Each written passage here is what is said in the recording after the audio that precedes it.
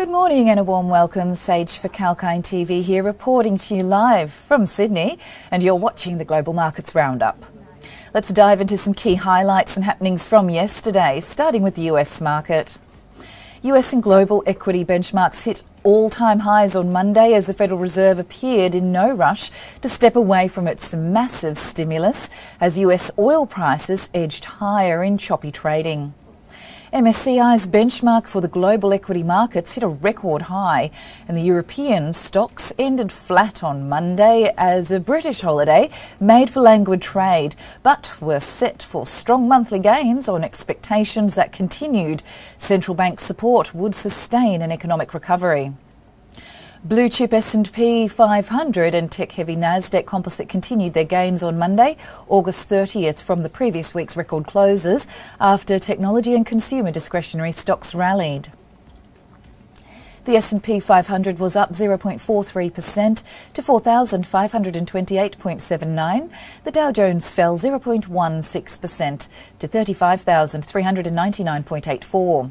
The Nasdaq Composite rose 0.90% to reach 15,265.89 and the small cap Russell 2000 was down 0.49% to 2,265.99.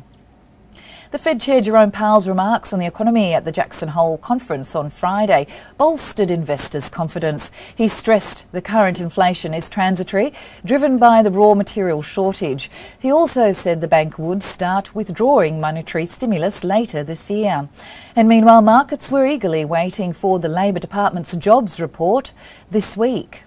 Technology and consumer discretionary stocks were the top movers on the S&P 500 Monday.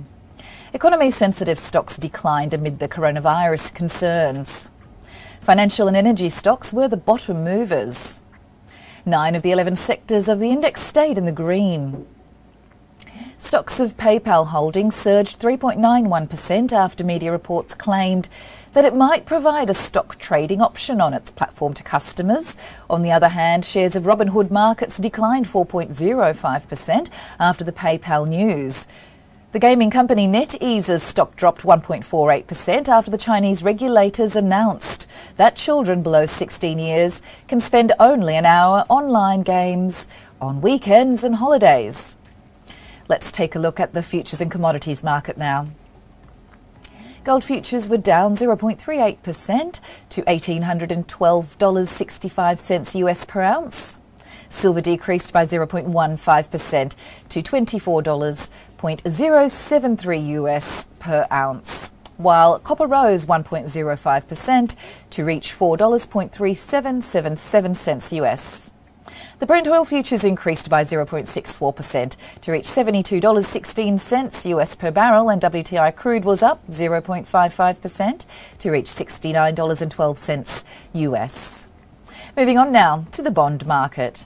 The 30 year Treasury bond yields were down 1.07% to 1.898, while the 10 year bond yields fell 2.30% to 1.282. The US dollar futures index increased by 0.02% to $92 US 0.71 or 71 cents. And now it's time for a small break, but do stay tuned. I'll be back with the Asia and Australia market updates.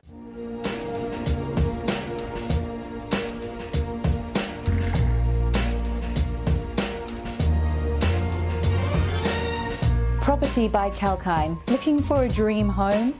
Well, that may sound easy, but it isn't. And from looking for a property that is the right fit for you in terms of cost and other factors, to zeroing down on the right mortgage plan, there are various aspects to consider. And for the latest slowdown in the property market, tune in on Kalkine TV with me, Sage. I will give the latest updates on the property market as well as real estate stocks to help you make the right decision. Keep watching Property with Kalkine.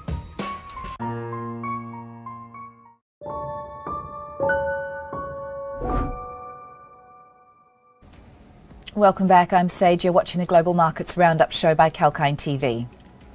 The Europe wide Stoxx 600 ended largely unchanged at 472.68 points, but was on course to end August with a 2.4% rise, its seventh straight month of gains in what would be its longest winning run in over eight years.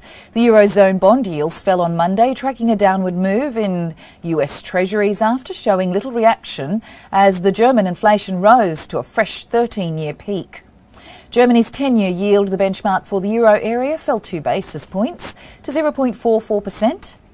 And the London based cryptocurrency mining company Argo Blockchain has filed for a secondary listing in the United States.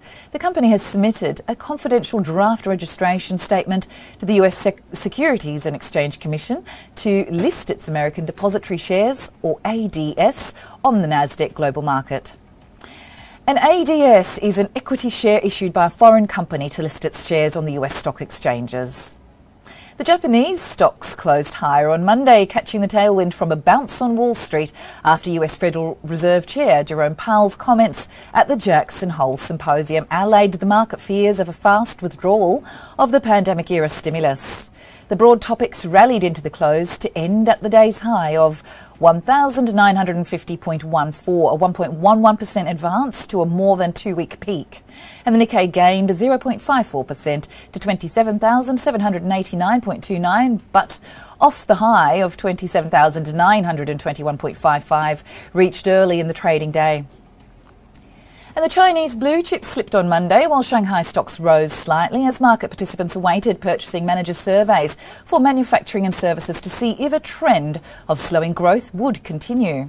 And the blue chip CSI 300 index fell 0.3%, while the Shanghai Composite Index edged up 0.2%. South Korean shares ended higher on Monday after the US Federal Reserve Chair Jerome Powell laid out a slower than expected path to monetary tightening, calming the investor nerves. And the Kospi closed up 10.29 points or 0.33%. The Australian shares are expected to push higher on Tuesday after the US stock indices hit all time highs overnight, led by a rally in the tech stocks. The benchmark index ASX 200 closed 0.2% higher at 7,504.5 points. The domestic investors would also closely track earnings of some major firms such as PointsBet Holdings, Harvey Norman, and IGO Limited. The oil prices rose but were off a four week high after the weakening of Hurricane Ida into a Category 1 hurricane within 12 hours of arriving as a Category 4. And while the Brent crude rose $73.41 US a barrel, WTI climbed to $69 US 21 cents a barrel. And the energy stocks such as Woodside Petroleum and Santos could trade higher on Tuesday. The gold prices, they fell as the dollar surged from its lows and investors also awaited the release of key US jobs data later in the week. The spot gold fell 0.4% to $1,808 US 67 cents per ounce.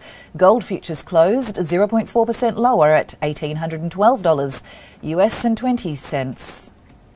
ASX listed gold stocks such as Northern Star Resources and Newcrest Mining Limited could trade lower on Tuesday. And thank you for joining us on that report. But that's all for now. And this has been Sage reporting for Kalkine. Keep watching Kalkine TV for more market updates.